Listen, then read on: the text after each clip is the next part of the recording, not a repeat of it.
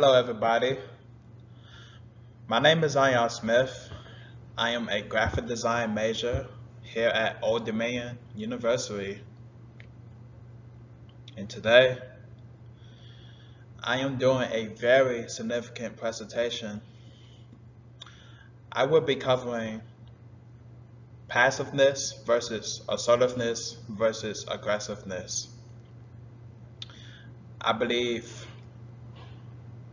this presentation I am about to present is important and we as humans should know passiveness, assertiveness, and aggressiveness and the form of communication.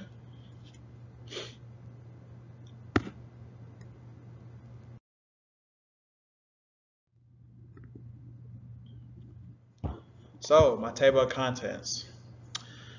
I will talk about what is passiveness, assertiveness, aggressiveness, and passive aggressiveness when we all communicate as humans. then I will talk about why we shouldn't be passive or aggressive. And finally, when it's all said and done, I will explain why we all should be assertive and stand up for ourselves.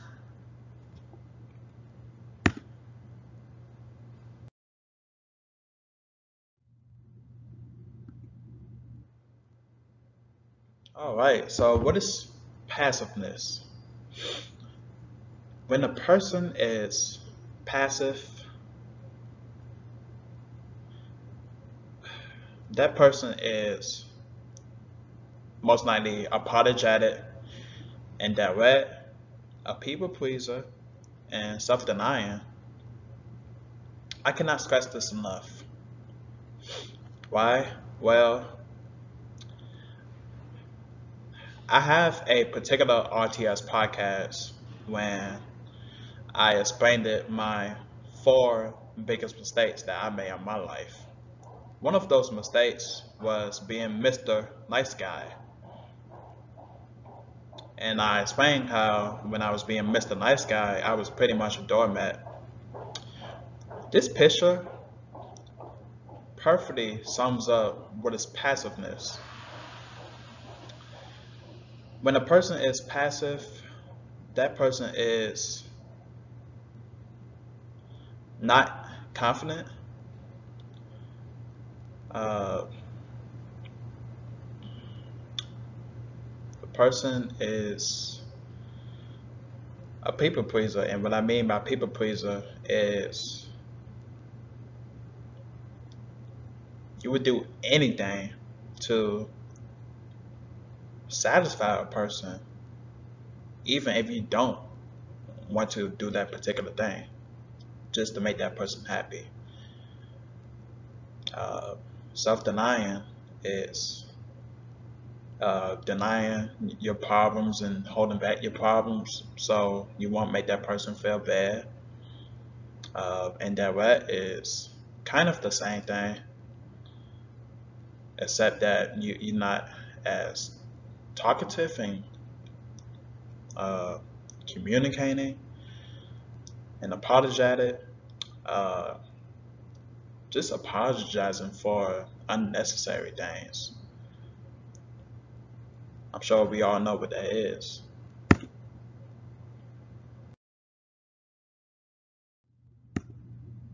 All right, so what is assertiveness? When a person is assertive, that person is confident, expressive, fair, and honest. In this picture, it looks like the woman is explaining what's going on to her husband. And it looks like the husband is listening to her by making that eye contact.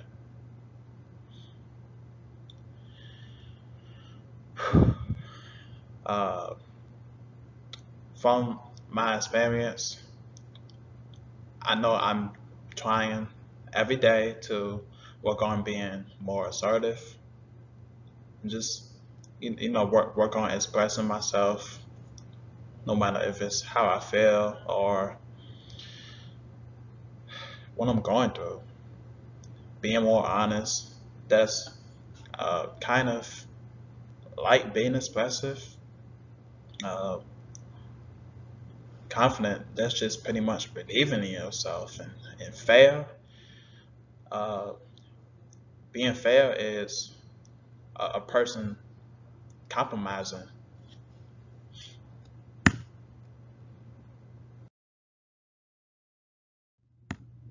All right, so what is aggressiveness?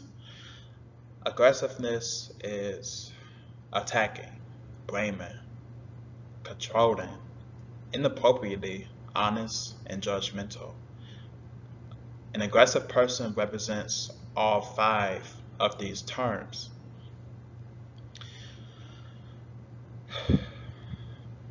Uh, I'm sure we all know what all five of these terms are. Uh, yeah, it's, it's pretty much self-explanatory. But I, I will go into inappropriately honest because when an aggressive person is like that, uh, he or she doesn't see the bigger picture before realizing that person or realizing the actual situation. It's kind of like being judgmental, but it goes hand in hand.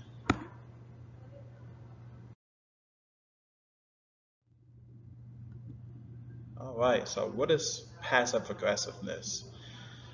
Emotionally dishonest. Uh, when a person is emotionally dishonest, uh, he or she holds back their problems and holds back what they're going through because either they don't want to make that person feel bad or they just don't want to be bothered with. And being, uh, excuse me, not being bothered with is completely fine, but when it's consistently going on, it destroys your friendships, it destroys your relationships with your close friends and your family members. And it's it's tacit. So, for example, uh, if my mom asks me if I'm okay, I say I fine, I'm, I'm fine, but I, I said it in a more in, in a tone when I'm sad, but I try to pretend that I'm not sad. My mom is gonna realize that and she's gonna ask me what's going on. Are you okay? It looks like you're lying to me. I'll be like, Mom, I'm, I'm, I'm fine. She'll be like, okay, I'm just trying to check on you. And I say, okay, I don't care. That's an example of being passive aggressive. You hold back from your problems and at the same time, you push that person away.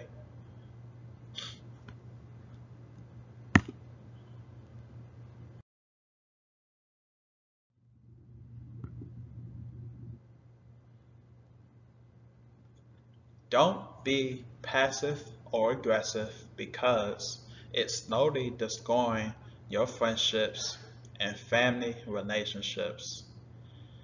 So what I said in the last night is pretty much what I'm saying on this night.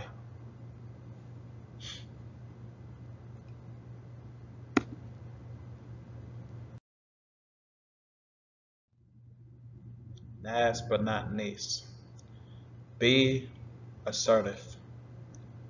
Stand up for yourself.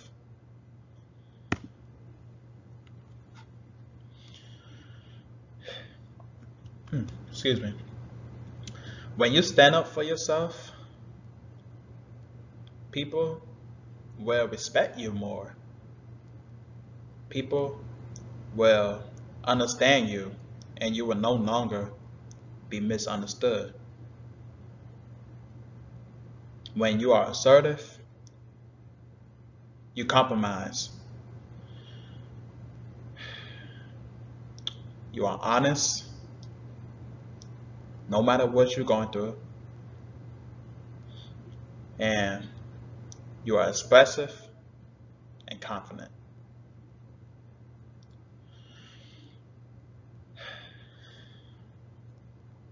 This is my presentation on passiveness, assertiveness, and aggressiveness. Please give this presentation a like and a comment. I will appreciate the feedback. Let me know of what kind of presentations you would guys like me to give and I will come through and I will deliver.